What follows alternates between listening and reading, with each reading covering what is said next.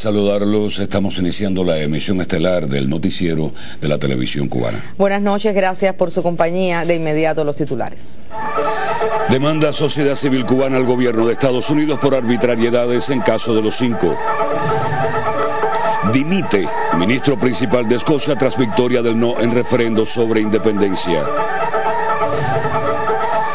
Y nuestro segmento Cuba Dice aborda hoy el impacto de los videojuegos en niños y jóvenes cubanos. Más de 45 organizaciones de la sociedad civil cubana y otras internacionales demandaron al gobierno de los Estados Unidos por las violaciones constitucionales en el caso de los cinco. Con ese propósito emitieron un documento esta mañana durante el quinto foro de solidaridad celebrado en el Centro de Prensa Internacional en La Habana.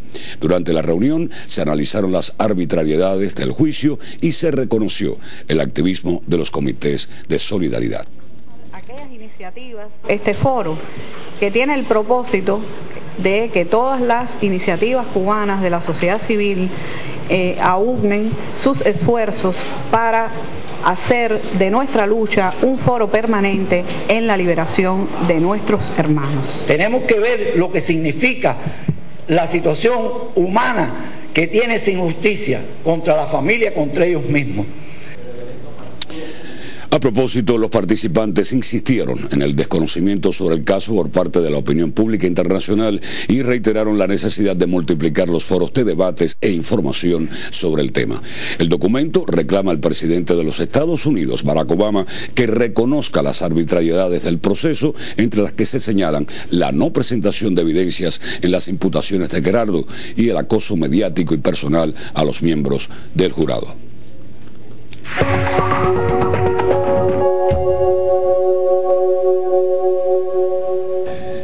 El gobierno venezolano anunció hoy la captura del ciudadano Josman Paredes, vinculado a acciones terroristas.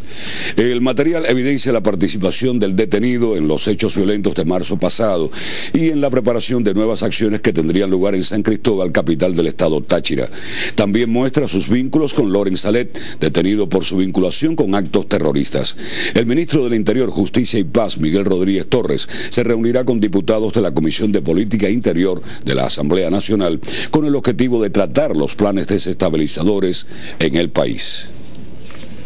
El presidente ecuatoriano Rafael Correa inspeccionó este viernes los daños ocasionados por manifestantes en la Plaza San Francisco, considerada parte del centro histórico de Quito, la capital, y declarada Patrimonio Cultural de la Humanidad. El mandatario constató los destrozos provocados por personas que el miércoles último generaron incidentes violentos en una protesta opositora. Correa calificó los hechos de actos vandálicos y que no quedarán en la impunidad. Varios uniformados resultaron heridos por los ataques de los manifestantes. Anoche se produjo una nueva protesta protagonizada por estudiantes que se oponían a una posible subida del precio de los pasajes de autobús. El Consejo de Seguridad de la ONU instó este viernes a respaldar a Irak en su lucha contra el autodenominado Estado Islámico en una declaración aprobada durante una reunión que presidió el secretario de Estado estadounidense John Kerry. El texto exhorta a la comunidad internacional a reforzar y ampliar el apoyo al gobierno iraquí en su lucha contra el Estado Islámico y otros grupos vinculados a este. Hoy viernes, aviones franceses realizaron los primeros bombardeos en Irak tras la decisión de París de involucrarse en la intervención en ese país árabe. Tal decisión fue saludada por Estados Unidos, pero rechazada en Francia por varios políticos. De acuerdo con un comunicado del Palacio del Elíseo, otros bombardeos tendrán lugar en próximos días.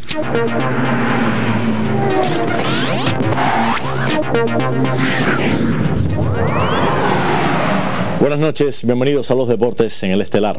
Cuba aseguró dos medallas de plata en el Mundial de Pelota Vasca que se realiza en México. En el Chare, Camilo Castillo e Iván Torres lograron una actuación sin precedentes al superar dos sets por uno a la dupla argentina y discutirán ante Francia la medalla de oro. La otra medalla de plata para Cuba la consiguieron a Juan Pérez y Anderson Jardines, quienes luego de perder el primer set ante España se recuperaron para llevarse el triunfo en la semifinal de la pala corta. Allí se las verán ante su par de Francia.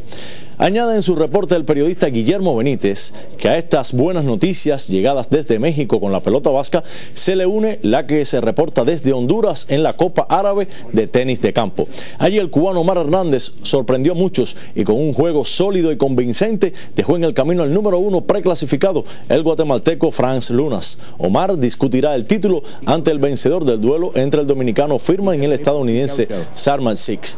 Y continuando con buenas nuevas, como ven en estas imágenes, les comento que la selección cubana de baloncesto femenino se impuso hoy en tiempo extra a su similar de Canadá, 69 cartones por 66 en la triangular que se juega en España como preparación rumbo al campeonato del mundo. Las cubanas arrancaron delante 17 por 7 en el primer cuarto, pero luego fueron cediendo en los restantes por 11 a 15, 19 a 20 y 11 a 16 para el cierre de tiempo reglamentario con empate a 58 puntos. Yamara Amargo con 18 y Lady Soquendo con 15 tantos fueron las líderes de la ofensiva cubana. Cuba volverá a la acción el domingo cuando enfrenta a las españolas, campeonas de Europa. También conocimos que Cuba venció a Aruba dos goles por uno y se quedó con la medalla de bronce en el torneo caribeño de fútbol categoría sub-20. Y el cierre llega con el juego Ciencia y el torneo de clubes donde participa el cubano Lenier Domínguez. Hoy Lenier llevó blancas ante Maxim Rosten y a pesar de salir con ventaja de calidad en una defensa carocán, el cubano no pudo hacer valer y tuvo que conformarse con la igualada en una partida disputada hasta la jugada 103. Mañana concluye la lid y Leinier enfrentará al búlgaro Vaserin Topalov, quien ahora mismo marcha en el quinto lugar del escalafón mundial, en tanto el cubano ha descendido al puesto decimoquinto, pues va perdiendo cuatro puntos de su coeficiente actual de 2.755. Así termino. Gracias por su atención y continúen con el estelar. Muchas gracias, Ángel Luis, por tus informaciones. Nosotros continuamos con otras noticias del ámbito nacional. Hace algunos días, nuestro noticiero publicó un reportaje sobre la situación que presenta el vertedero de Cien y Boyeros en la capital. Uno de los aspectos que causó mayor impacto en la teleaudiencia fue la llegada allí de materia prima en buen estado. A cualquier persona con sensibilidad le impacta ver a estos camiones estatales deshacerse de la materia prima de sus empresas en un vertedero. Fue más fácil votar. Según directivos de la Unidad de Empresas de Recuperación de Materias Primas, la infracción es bastante frecuente en todo el país, a pesar de que desde 1975 existe en Cuba la Ley 1288 una ley que establece que los organismos están obligados a recolectar, conservar y entregar los desechos que se originan en sus entidades. ¿Qué sucede entonces? Quien no lo haga está violando esta propia ley a la que ya le hicimos referencia. Nosotros firmamos un contrato con estas entidades. En este contrato firmamos el ciclo de recogida. ¿Me hablas de entidades altas productoras de material reciclable? Hablo de todas las entidades, todas las empresas todas las entidades, todas las tiendas, todos los hoteles, díganse entidades estatales propias de nuestro país, están en la obligación de entregarnos todo, el papel de oficina, el papel que se desechan en las tiendas. ¿Y cuál es la medida que se adopta con estas entidades infractoras? Le aplicamos la ley y lo llevamos a los tribunales. Independientemente de la conciencia del reciclaje que debiera existir en todo el sector empresarial, también es cierto que se ha esperado demasiado para establecer precios que incentiven más el interés por la recuperación de las materias primas. El sector estatal se paga la tonelada de papel y cartón a 15 pesos sí lo vemos estimulado así en el sector particular de las casas de compra, que es a mil pesos la tonelada de cartón. Sucede también con las actitudes individuales. Los desechos del hogar que arrojamos a la basura y que llegan aquí dejan de ser reutilizados en la industria. Lo ideal sería que en nuestras cuadras existiesen condiciones para la llamada clasificación en origen, o sea, contenedores donde por separado se recolectaran los desechos de cartón, los de vidrio, los de plástico. Para lograrlo se harían necesarias importantes inversiones que hoy por hoy el país no está en condiciones de hacer de manera inmediata Nos corresponde entonces actuar con mentalidad de recuperación e interiorizar que el reciclaje es la forma más sencilla y económica para sustituir importaciones. Demostrarlo será cuestión de un próximo reportaje. Milenis Torres, Sistema Informativo de la Televisión Cubana.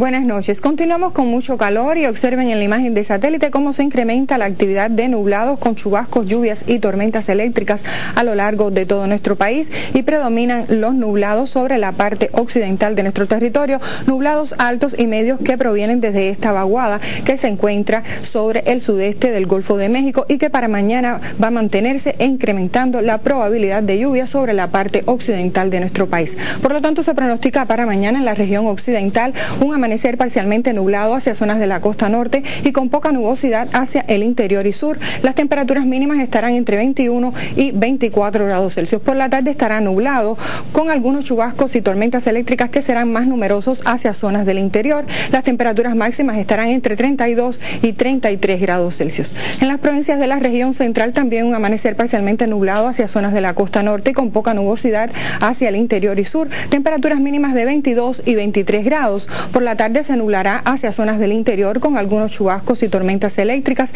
y temperaturas máximas alrededor de 32 y 33 grados Celsius. En el oriente del país también un amanecer con poca nubosidad y parcialmente nublado hacia zonas de la costa norte. Temperaturas mínimas de 22 y hasta 24 grados. Por la tarde estará nublado hacia zonas del interior con aislados chubascos y tormentas eléctricas y temperaturas máximas de 33 y hasta 34 grados Celsius, 32 en la provincia de Holguín. Para los próximos tres días se mantiene alguna probabilidad de chubascos y lluvias hacia zonas del interior que se incrementará el martes hacia la parte occidental de nuestro territorio y las temperaturas extremas se mantendrán elevadas y con poca variación, máximas en la tarde de 32 y hasta 34 grados Celsius. En resumen, se pronostica para mañana algunos chubascos y lluvias que serán más numerosos hacia zonas del interior de la parte occidental. Esto es todo en cuanto al tiempo. Que tengan un feliz día y hasta mañana. Un importante grupo de inversiones permitirán la arrancada del Central Brasil, uno de los seis que participarán en la zafra en la provincia de Camagüey. La alegría invade a Brasil, pequeña comunidad de Agramutina que cuenta con un ingenio del mismo nombre, que en su momento fue uno de los colosos azucareros más productivos del país.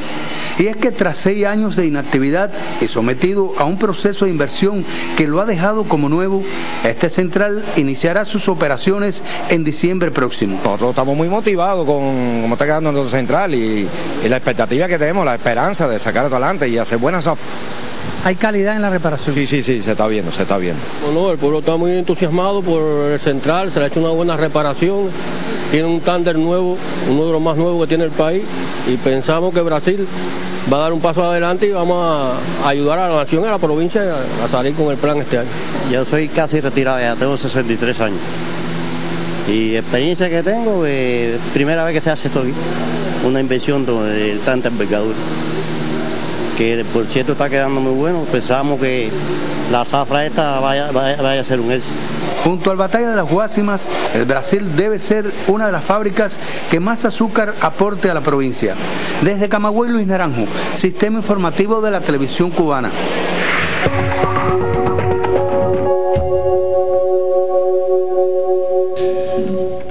Repasemos otros temas del acontecer internacional. El primer ministro escocés, Alexander Salmon, anunció este viernes su dimisión luego de la derrota sufrida por los partidarios de la independencia de ese territorio británico en el referendo realizado este jueves. Salmon explicó que no aceptará la nominación a la jefatura del gobierno de Escocia ni a la dirección del Partido Nacional Escocés durante la conferencia anual de esa formación política prevista para noviembre próximo. El político expresó que, dada la situación actual, el territorio se beneficiará más con una nueva dirección. No obstante, confesó sentirse orgulloso de la labor que realizó al frente del gobierno local y del resultado alcanzado en la consulta, en la que los partidarios de la independencia lograron el 44,7% del apoyo. Y a propósito de este tema, los resultados del referendo en Escocia trascendieron de inmediato las fronteras de ese territorio que continuará siendo parte del Reino Unido y repercuten en otras regiones donde se pretende realizar consultas similares. Para profundizar sobre el tema nos acompaña hoy el periodista Oliver Zamora Oria. Muy buenas noches. Sí, muchas gracias y muy buenas noches. ¿Qué pasará tras el referéndum independentista en Escocia? ¿Qué repercusiones se pueden esperar ahora al interior del Reino Unido y también en el resto de Europa? Esas son las preguntas que muchos se hacen y ya en menos de 24 horas comienza a esbozarse una respuesta. Por ejemplo, el Parlamento catalán aprobó esta misma tarde una ley que le abre el camino legal a su referéndum independentista previsto para el próximo 9 de noviembre. Y aquí quiero detenerme porque es muy probable que al presidente del gobierno español, Mariano Rajoy, le sea mucho más difícil lidiar con este reto que a su homólogo británico David Cameron, con Escocia. Pero en fin, lo más importante es que el no escocés no parece haber desalentado a otros movimientos de este tipo en Europa, mucho menos cuando los escoceses independentistas no alcanzaron el triunfo, pero se llevan a cambio mayores niveles de autonomía. Ahora bien, al interior de Gran Bretaña es muy interesante el panorama. En un discurso esta mañana, el premier británico David Cameron anunció que se revisará el estatus del resto del país. En otras palabras, que el gobierno central piensa aprobar una mayor autonomía no solo para Escocia, como prometió, también para Inglaterra, Gales e Irlanda del Norte. Esa política podría aplacar los sentimientos independentistas en un primer momento, pero a la larga, en una dimensión histórica, debilita la unidad y el sentimiento nacional británico. Y ojo con un detalle, la aspiración separatista en Escocia, como en Cataluña, es fuerte entre los jóvenes, esos que transmitirán esas ideas a sus hijos y que dentro de poco serán mayoría en estas ¿Quién duda que dentro de unos años todo esto vuelva a tomar impulso, quizás en mejores condiciones? ¿Cómo entender entonces la fuerza cobrada por este fenómeno? Bueno, es que Europa vive una crisis de los estados nacionales con mayor fuerza en otros países que en otros, pero bueno, es una realidad, una crisis que se ha disparado no solo por cuestiones culturales e históricas, también por la crisis económica y el desgaste de los sistemas políticos, de los partidos tradicionales. Fíjense cómo en las últimas elecciones han recuperado muchas fuerzas las formaciones nacionalistas, regionales. Si el PP y el PSOE fueran fuertes en Cataluña, si los laboristas y conservadores dominaran Escocia, no hubiera oportunidad legal para este tipo de referéndum. El separatismo en Europa sobrevive y en algunos casos aumenta porque los proyectos nacionales y regionales no parecen brindar mejores opciones. Así me despido y nos vemos en una próxima ocasión.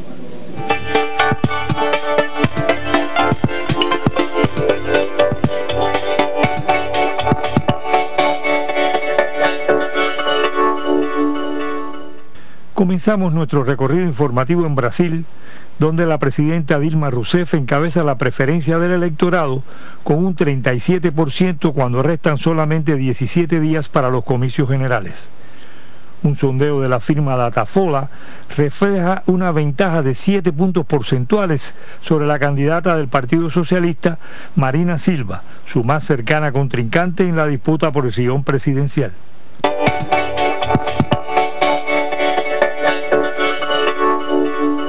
Sierra Leona puso en vigor este viernes un toque de queda que obliga a todos los ciudadanos a permanecer en sus casas durante los próximos tres días con el propósito de contener la expansión del virus del ébola en el país. La medida fue adoptada por el gobierno debido al incremento en el número de casos y a que algunos ciudadanos enfermos no acuden a los centros hospitalarios por temor al escarnio público.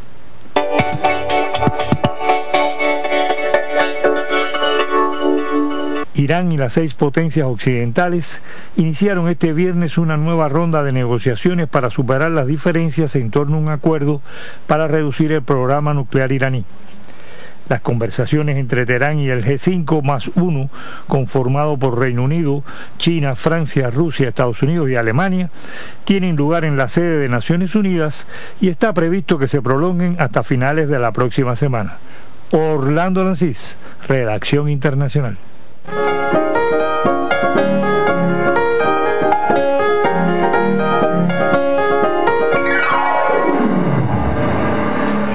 Buenas noches, bienvenidos a la información cultural.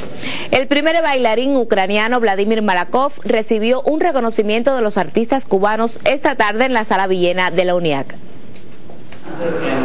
Durante el encuentro con la prensa, el afamado bailarín reconoció una vez más la calidad artística del ballet cubano, lo cual otorgó al certamen un alto nivel que llevó al jurado a otorgar un segundo premio en interpretación, así como cuatro reconocimientos especiales. Para empezar, eh, comenzar con, este tipo de gestión, de crear concursos, para empezar a, trabajar con... Eh, la calidad de los bailarines y que entre ellos se puedan evaluar y, que personas experimentadas también tengan la capacidad de evaluar el, desarrollo artístico y técnico de bailarines y coreógrafos. La pianista Carla Hernández, la violista Anolan González, el barítono Alejandro Zúñiga y la soprano Bárbara Llanes actuaron especialmente para la gran figura del ballet internacional. Liel Lorain, Sistema Informativo de la Televisión Cubana. Este jueves falleció en la capital cubana a los 89 años de edad la actriz Hilda Oates. Siempre jovial, desde su humildad de mujer grande por esforzada y constante, Hilda Oates dice adiós, dejándonos por siempre la María Antonia inolvidable del teatro cubano. Natural de Guanabacoa, Hilda nos regaló disímiles y complejos personajes en el teatro, el cine y la televisión cubana. Disciplinada, simpática y siempre elegante, la actriz comenzó su trabajo en el arte escénico desde los años 60. Premio Nacional de Teatro en 2004 junto a Héctor Quintero, Hilda Oates murió este jueves a los 89 años de edad. Su cuerpo fue cremado de acuerdo a su última voluntad. Pasamos a otras informaciones. Desde Venezuela nos reportan que realizadores de 18 naciones participan en el primer Festival Internacional de Cine de Caracas 2014. Hasta el 21 de septiembre, visiones plurales de la realidad latinoamericana confluyen en 10 salas del circuito cinematográfico de Caracas. El primer Festival Internacional de Cine acoge más de 80 producciones audiovisuales en las categorías de largometraje, ficción y documental, animación, cortometraje y cortometraje documental. Según destacó el comité organizador, el Festival Internacional del Nuevo Cine Latinoamericano de La Habana es uno de los principales referentes de esta iniciativa que pretende estimular el acercamiento al séptimo arte. El evento también comprende exhibiciones de cine de calle y bajo las estrellas en salas y espacios recuperados como parte de la política gubernamental Derecho a la Ciudad que impulsa el gobierno del Distrito Capital. Desde Venezuela, Marisol Blanco, Edi de la Pera y Daini Díaz Breijo, Sistema Informativo de la Televisión Cubana. Y a pesar del nuevo revuelo que causó el anuncio de su presentación en Miami, el concierto del dúo Buena Fe y su grupo en escenarios de esa ciudad consiguió realizarse con éxito de público y sin contratiempos. Según reportan algunas agencias de prensa, poco pudieron hacer las aproximadamente 300 personas que protestaron frente al auditorio del condado de Miami-Dade por la presentación de los músicos cubanos este jueves en ese sitio. No es la primera vez que Buena Fe se presenta en esa ciudad del estado de la Florida y tampoco es la primera vez que ciertos sectores reaccionarios encuentran cualquier justificación para recriminar a los músicos cubanos. En esta oportunidad el detonante del disgusto fue el concierto del pasado 12 de agosto en La Habana, que celebraba el Día Internacional del Estudiante y que se prolongó hasta las primeras horas del día 13, cumpleaños del líder histórico de la Revolución Cubana, Fidel Castro. Según estos sectores reaccionarios de Miami, el dúo de músicos cubanos son activistas castristas. Pero la verdad es que este grupo de protestantes no está de acuerdo con el intercambio cultural que ya desde hace unos años se ha establecido entre artistas cubanos de la isla y los radicados en Miami. Lo cierto es que aún las protestas y la presencia del propio alcalde de esa ciudad al frente de los ofendidos, el dúo cubano Buena Fe hizo sentir en el auditorio del condado de Miami-Dade que a pesar de todo, Cuba va. Así concluye nuestro segmento. Le habla Dagner Relova. Le deseo un buen fin de semana.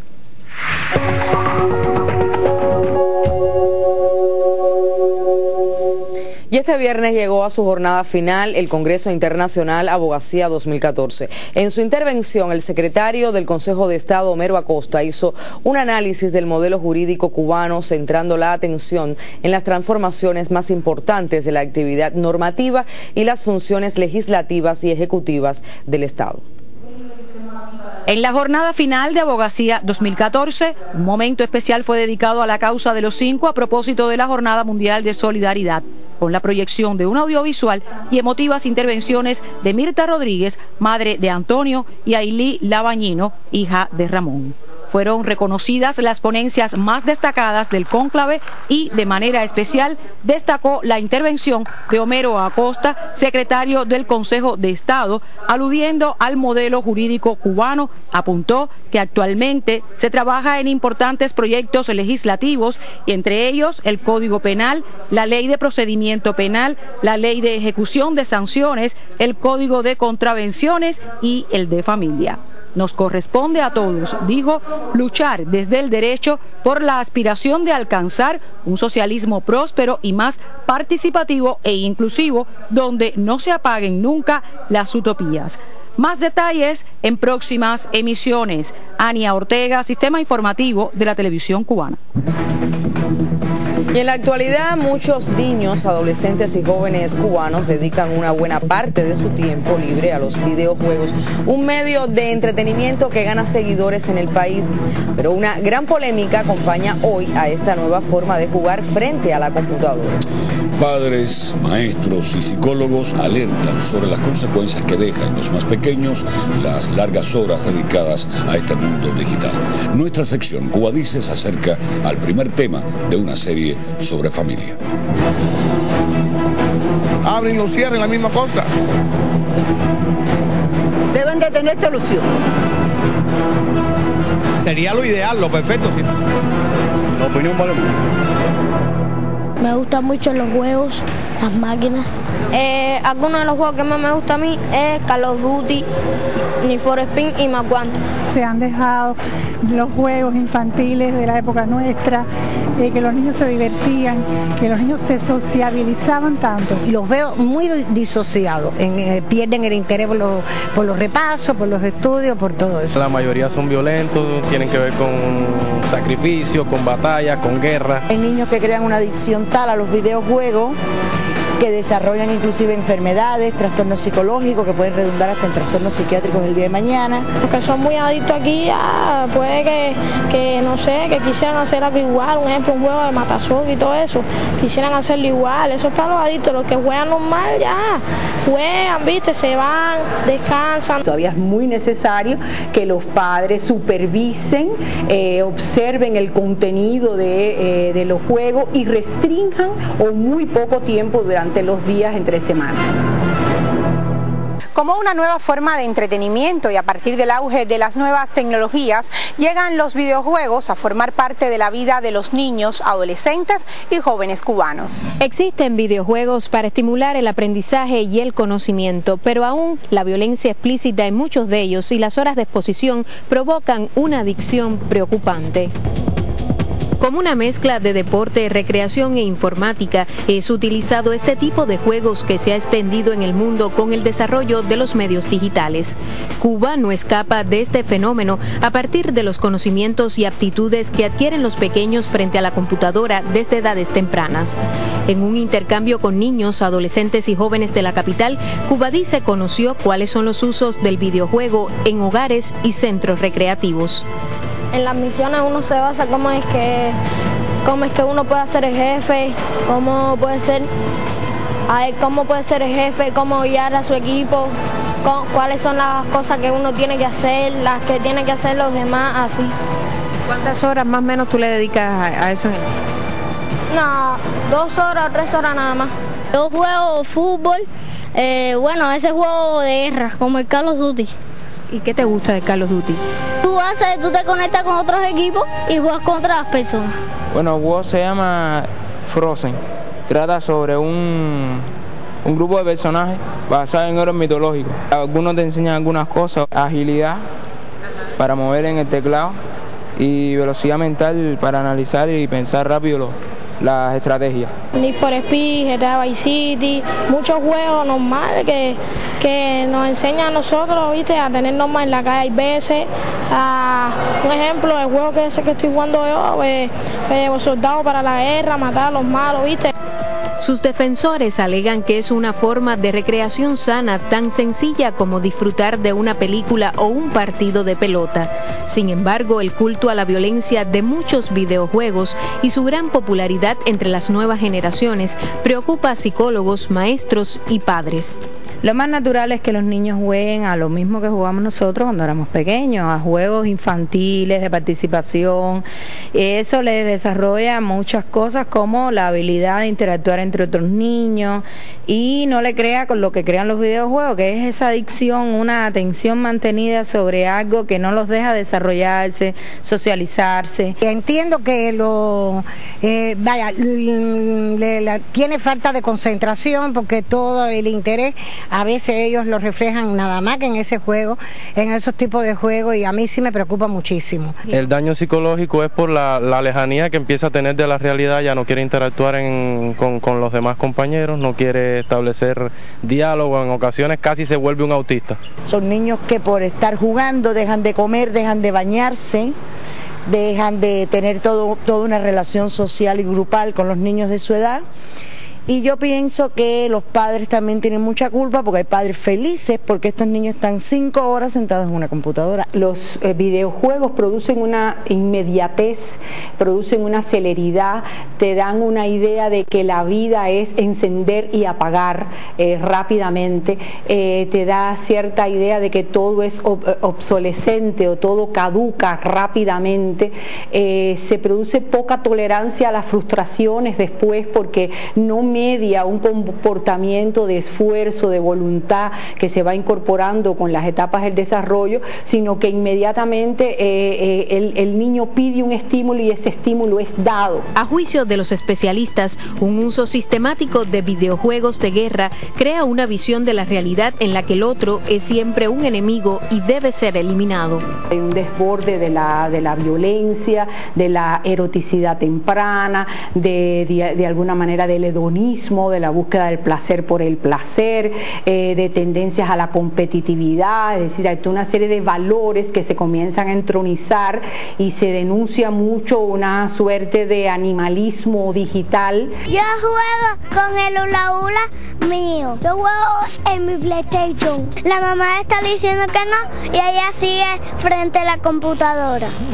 Hay algunos amiguitos que no juegan porque son que no quieren jugar, pero nosotros siempre jugamos la hora de receso, porque en la clase se puede. Claro, esto es una gran paradoja. Los niños están más entretenidos, están más dentro de la casa, aparentemente los padres súper ocupados sienten que es como una especie de nana o chupete electrónico donde pueden estar eh, de alguna forma bastante en un autismo técnico donde no molestan. Y esto eh, es una gran tentación por parte de estos padres que cada vez tienen menos tiempo y están más ocupados. Pero evidentemente la intensidad y los contenidos hay que mediarlos. La mayoría de los juegos que llegan a manos de niños y jóvenes cubanos provienen de la industria norteamericana del entretenimiento. Algunos promueven valores belicistas y normas de las sociedades de consumo. Algunos juegos sí tienen mucha violencia y también pienso que hay juegos que son muy superficiales de ropa, de cosas materiales que no hacen tanta falta. Si tú te pasas las 24 horas del día oyendo cosas buenas, que veas una película por la noche no te hace tanto efecto. Ah, si constantemente todo el día ve que hay problemas, ataques, bombardeo, asesinato constante y con la prensa amarilla, cuando ves eso, a lo mejor te ayuda a, afianzar esa, esa, forma de ver las cosas. Y entonces los padres debemos no alejar a los hijos de, bueno, el desarrollo, pero sí eh, paulatinamente 20 minutos hasta una hora y así, bueno, para que el niño también aprenda a hacer otros juegos, a jugar y también a conversar en familia, que es tan importante. El Grupo de Estudios de Videojuegos y Materiales Audiovisuales, EVIMA, radicado en el Palacio Central de los Joven Club de Computación, desarrolla este tipo de medios con un sello propio y con valores identitarios. Creado en septiembre de 2010, el equipo multidisciplinario ha realizado ya cuatro videojuegos de una gran aceptación entre niños y jóvenes. Lo primero que se hizo fue dedicarse a estudiar este fenómeno, que ya en el mundo eh, ya iba por 40 años, casi. casi y ver qué juegos eran los primeros que teníamos que hacer, qué era lo que más le interesaba a los jóvenes, qué juegos podíamos hacer nuestros con nuestros valores. Y una de las cosas que hemos visto, ¿no? que hemos contratado, es que cuando están jugando pueden jugar los que siempre han jugado, los que ellos ven, los juegos extranjeros, pero están los nuestros y están jugando los nuestros también. Nosotros no buscamos de que los niños queden fascinados solamente con el diseño que tiene el juego, sino con la interactividad que tiene el juego, sino con el mensaje que lleva el juego. Esta final es un juego basado en hechos reales desde que Fidel vino en el yate de Granman a Cuba. Está igual que todos los videojuegos. Este, para mí este es el mejor que hay. Se programa el playa para que salte, todo está en la animación que se le hace. Nosotros tenemos también un animador y un diseñador que se encarga de la parte funcional de que el player corra, de que el player eh, o sea, de todas las animaciones y mi parte sería programar, o sea, llevar todas esas animaciones y, y recrearlas acá a la hora de la jugabilidad del personaje. Aunque la experiencia de realizar videojuegos para niños cubanos con un enfoque educativo deja resultados, aún Evima choca también con los prejuicios de quienes generalizan que todos estos medios son nocivos. Lo nocivo del videojuego es quién fabrica el videojuego, para qué fabrican el videojuego y qué videojuego estoy jugando según mi edad, según lo que, el contenido del, del videojuego. Una dosis exacta de un medicamento te puede curar una enfermedad. Un exceso de esa dosis te puede hacer daño. En el caso del videojuego pienso que es exactamente lo mismo. Incluso el enfoque con que tú lo veas. Por ejemplo, en mi caso personal tengo dos niños. Eh, el varón mío es fanático de fútbol y él consume mucho los juegos de fútbol le sirve eh, para conocer las banderas de todos los países, conoce muchísimos lugares. Primero tiene que cumplir con sus deberes escolares y que hay días específicos para jugar. Quizá los fines de semana yo le doy rienda suelta, que juegue un poquitico más que otros días, pero siempre muy controlado. Es una actividad importante en los primeros años de vida. De ahí que los videojuegos, bien seleccionados, claro está, potencien el desarrollo de habilidades y conocimientos. La familia debe preocuparse por el uso excesivo de estos medios, sobre todo en edades tempranas en las que son imprescindibles el contacto con las demás personas. Aunque su divulgación es insuficiente, Cuba ya produce videojuegos atractivos sobre la base de valores de nuestra identidad nacional. Los videojuegos son medios de como las películas y las series. Velar por sus contenidos para cada edad son los consejos de muchos para evitar adicciones. Sobre este y otros temas volveremos porque Cuba dice. Y fueron titulares en la emisión estelar la demanda de la sociedad civil cubana al gobierno de Estados Unidos por las arbitrariedades en el caso de los cinco.